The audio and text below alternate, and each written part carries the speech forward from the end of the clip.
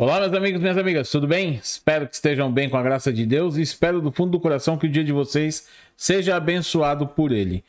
Pessoal, eu tenho ouvido muita gente dizendo: olha, a inflação, olha, é, o, o preço do combustível, olha só como o Brasil está.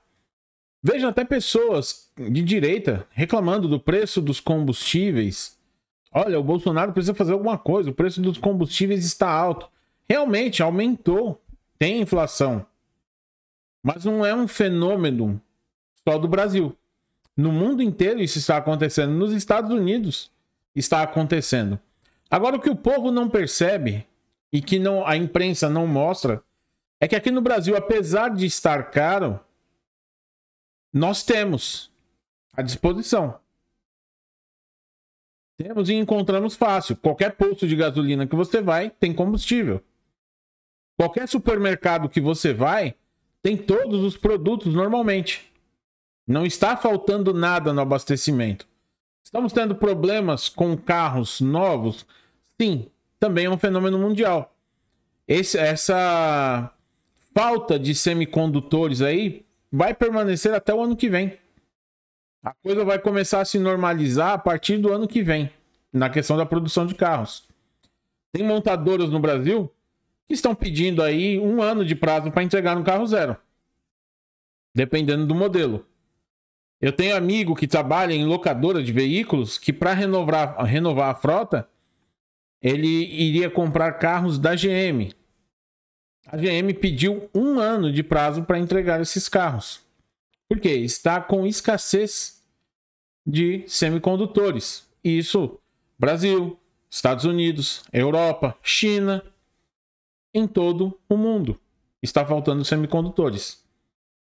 Esse é um dos motivos. Tá? Não é o único motivo, é um dos motivos. Talvez o mais forte no, na questão dos carros. Mas graças a Deus, aqui no Brasil não está faltando nada. Nós temos tudo à disposição. Países que antes ninguém imaginava que iria acontecer isso, está acontecendo. Os Estados Unidos, por exemplo. E é sobre isso que eu vou falar. É isso que eu quero mostrar para você e peço a você que mostre aos seus amigos, tanto isentões quanto amigos de esquerda. O que está acontecendo no mundo não é um fenômeno do Brasil. O Brasil está até muito bem em vista da situação de outros países, como Inglaterra, como Estados Unidos. Tá? Eu vou mostrar para vocês. Antes de colocar aqui na tela, só pedir para vocês que não estão inscritos no canal, se inscrevam aí no canal, me deem esse presente de aniversário. é, meu aniversário que ocorreu no dia 19. Gente, primeiro link da descrição, nossa página no Facebook, tá? Peço sua ajuda porque precisamos de 10 mil pessoas. Temos cerca de 4 mil curtindo a página. 4 mil não, 3.500. 3.500, 3.600. Não chegou a 4 mil ainda. Então, preciso que você perca aí 30 segundinhos. Clica no link e curte a página. Assim você estará me ajudando. Outro detalhe, outro link aí. O segundo link. Esse é o, o, o principal, diria assim. Muita gente tem me pedido ajuda. Olha, Daniel, o que, que eu posso fazer? Estou precisando de uma renda essa. Olha, Daniel, preciso de, de uma renda para pôr algum alimento em casa. E eu, sabe, gostaria de poder ajudar a todos. Infelizmente não consigo. Tudo que eu estou podendo fazer para ajudar, eu faço. Mando links lá no Telegram. Olha, vai ter concurso. Olha, tem esse site aqui que você pode trabalhar. Olha, tem vaga de emprego. Tô sempre, tudo que chega para mim eu encaminho lá. Então é até bom que você entre no canal do Telegram. Segundo link é o curso Home Office Lucrativo. Você vai aprender a ganhar dinheiro com o que você já tem. Telefone e a internet, o seu computador e a internet. Você já tem isso em casa. Então você vai aprender a trabalhar a partir da sua casa. Prestar serviços para Siemens, para Netflix, Google, Apple, entre outras grandes empresas, empresas menores, você vai ter acesso a tudo isso, tá? Clica aí no link, tire todas as suas dúvidas na página. E se for do seu agrado, compre o curso. Não custa muito, é um investimento, tá? Não é um gasto, você vai investir em você. Conhecimento nunca é demais, tá bem? Espero que, que vocês olhem aí com carinho, porque realmente é importante. Hoje em dia tá, tem muitas opções para você ganhar dinheiro com a internet, tá? Esse aí é uma delas. Vamos colocar a notícia aqui. Deixa eu só colocar. Eu mudei as coisas aqui no computador, então eu tô meio que apanhando um pouquinho, tá? Ó, tô até com meu presente de aniversário, hein? Desconcertante, prateleiras vazias, tá? Vejam só. Prateleiras vazias, cheia de cadeiras de gramado para esconder a crise na cadeia de suprimentos. Essa aqui é uma imagem de, um, de uma loja. Vejam só. Tudo vazio. Cadeiras preenchendo o lugar vazio. As imagens virais nas redes sociais mostram uma seção inteira de uma loja de varejo abastecida apenas com cadeiras de jardim, à medida que as consequências da quebra de cadeia de suprimentos de Biden se tornam mais evidentes.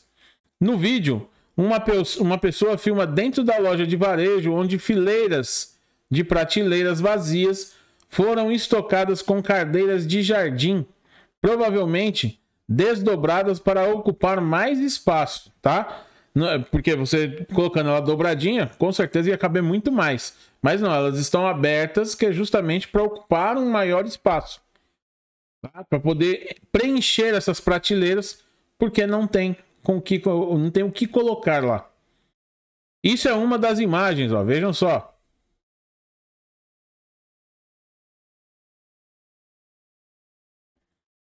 Olha o tamanho da seção, das seções, né? E todas preenchidas com cadeiras. Estão vendo só? É, essa é, é uma das coisas que mostra como o Brasil está melhor que muito país. Você não vê isso acontecendo no Brasil. Graças a Deus estamos tendo tudo. Muitas pessoas reclamando do preço, realmente aumentou, está tendo inflação? Tem. Mas não é uma coisa só do Brasil. E a culpa não é do Bolsonaro. Esse que é o grande detalhe. Estamos à beira do precipício, diz uma legenda no Twitter, ó. Mais aqui, ó, prateleiras vazias, literalmente, ó. Eu não vou, não vou poder clicar aqui porque senão vai abrir lá no Twitter, tá? Mas vocês podem é, entrar no canal do Telegram que eu vou mandar esse link lá. Aqui, ó, prateleiras vazias, prateleiras vazias. E isso é nos Estados Unidos. Não é na Argentina, não é na Venezuela. Não é em alguns países da África, não. É nos Estados Unidos. Um dos maiores mercados consumidores do mundo com prateleiras vazias. Certo?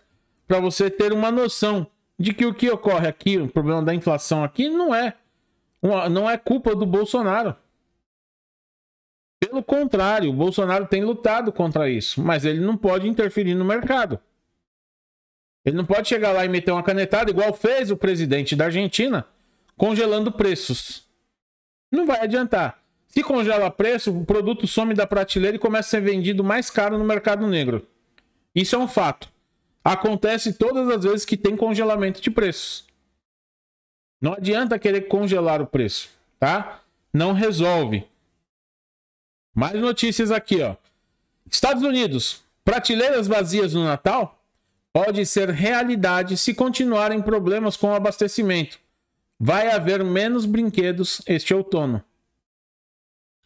Problemas nas redes de abastecimento devido à pandemia podem levar menos produtos nas prateleiras este Natal nos Estados Unidos. Em 43 anos, nunca vi uma situação tão má deverá haver menos promoções. É um cenário mau para os consumidores e péssimo para os retalhistas. A pandemia teve um forte impacto nas cadeias de abastecimento por todo o globo e a recuperação não está a ser fácil. É, o português está diferente porque esse aqui é um site de Portugal, tá? Os inúmeros problemas no comércio internacional podem mesmo levar a quebras de estoques e prateleiras vazias no, no Natal.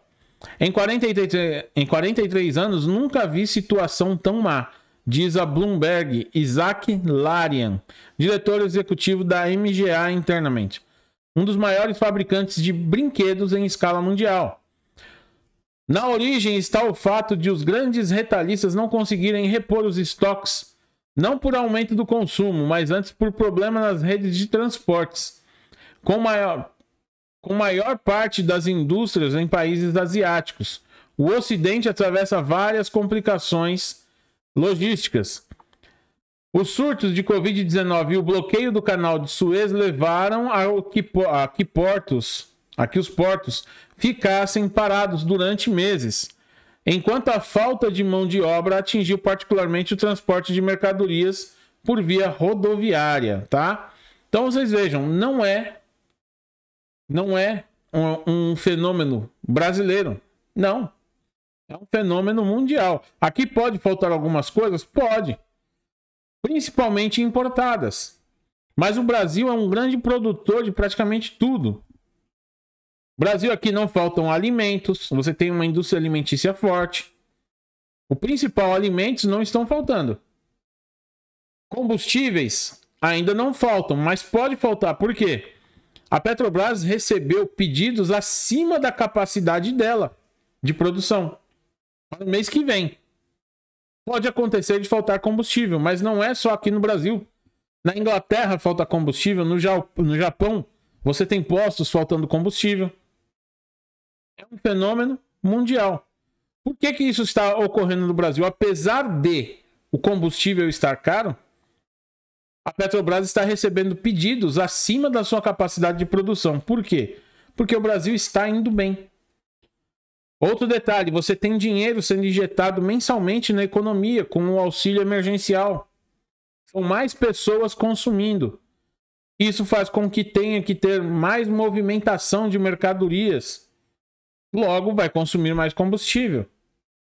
Mais pessoas recebendo auxílio, tem carro, precisa é, usar aquele dinheiro, de repente, para abastecer, para tentar ganhar um pouquinho mais de dinheiro com seu carro, fazendo Uber, ou de repente é, procurando serviços.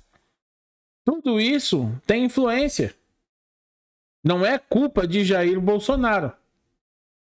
A culpa que você pode pôr nele é falar assim: olha, você está injetando dinheiro na economia com o auxílio emergencial. Você está auxiliando as pessoas que foram obrigadas a ficarem em casa, porque a economia nós veríamos depois e o depois chegou. culpado de dar o auxílio emergencial aí pode ser Bolsonaro, tá? Vamos lá, tem mais notícia, ó. Com prateleiras vazias e sem trabalhadores, Covid-19 e Brexit agravam crise de abastecimento no Reino Unido, tá? Olha aqui, ó. As prateleiras. E isso é uma das fotos menos é, chocantes que tem. Mas as prateleiras estão muito mais vazias, principalmente alimentos, tá? Mais notícias sobre o Reino Unido aqui, ó. Desabastecimento gera, gera brigas e filas em postos de gasolina no Reino Unido. Você vai encontrar imagens aqui, ó, tanto aqui como também no Twitter, na internet toda você vai encontrar briga e filas no Reino Unido para poder abastecer seu carro. Tudo isso aqui são filas, tá? Ó, vou, vou passar esse vídeo aqui para que vocês vejam.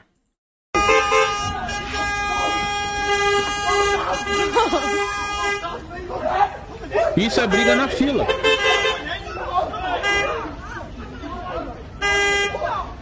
Vejam só. E isso está acontecendo no Reino Unido, um país de primeiro mundo. Está acontecendo lá. Não é no Brasil, não é na Argentina, não é na Venezuela, não é na Colômbia, não é em países da África, não. Não é num país de segundo, de terceiro mundo, não. É num país de primeiro mundo. Está acontecendo. Então, o que ocorre aqui não é culpa de Jair Bolsonaro. O povo precisa aprender a ser grato a Deus por não estar faltando nada aqui no Brasil. Você vai no mercado, tem o leite, você tem carne, tá cara? Tá. Tá caindo o preço agora. Por conta do embargo da China e a carne brasileira. Mas tá caro. Sim, mas tem. Agora imagine vocês, se não tivesse oferta. Mesmo que você tenha dinheiro, você não pode comprar. De que que adiantaria? Olha, o preço da carne estava 10 reais, mas não tem a carne. Ah, o preço do frango estava 5 reais o quilo, mas não tem o frango. De que que adiantaria? Tá caro, mas tem. Em muitos lugares não está tendo. É isso que tem que ficar bem claro. Sem contar o que eu falei, a demanda está maior. Você tem uma maior demanda e tem menos ou a mesma oferta. Logo os preços vão subir. Se você tiver mais oferta e menos demanda, aí os preços caem. É o que vai acontecer com a carne. Você vai ter uma maior oferta. Por quê? Não estão enviando para a China. O que enviar para a China vai vender aqui no mercado interno. Então vai cair o preço, já está caindo, o consumidor já está sentindo. Eu mesmo fui comprar e eu percebi uma diferença grande. Um, um corte de carne que eu fui comprar que estava R$ reais o quilo, eu paguei 29. Já melhorou bastante. Não sei se de repente era alguma promoção do mercado, não sei, mas estava bem mais barato. E eu percebi que não só aquele corte, mas outros cortes estavam mais baratos. Por isso que eu fui pesquisar para ver o que estava acontecendo e vi que realmente tem um embargo da China. A China não quer liberar e agora o Ministério da Agricultura recomendou que não se produza para a China. Vão começar a vender no mercado interno. Vai melhorar. Petrobras afirma que demanda está acima da capacidade de produção. Tá aqui, ó. Segundo a empresa, pedido de distribuidores por diesel cresceu 20% e gasolina 10%. Já tem posto temendo desabastecimento. Por quê? Está acima da capacidade da Petrobras. Ou eles vão fazer alguma mágica ou eles vão importar essa gasolina aí. Vão ter que importar, porque não tem a capacidade de produção. Isso significa o quê? Que está tendo uma maior demanda. Se tem uma maior demanda, estão consumindo mais, é porque algo de bom está acontecendo na economia, está tendo mais transporte. Estão transportando mais mercadorias, estão viajando mais. E isso é bom para o Brasil, tá? Tem o seu. Tem, lógico. É, todo benefício aí vai trazer algum ônus.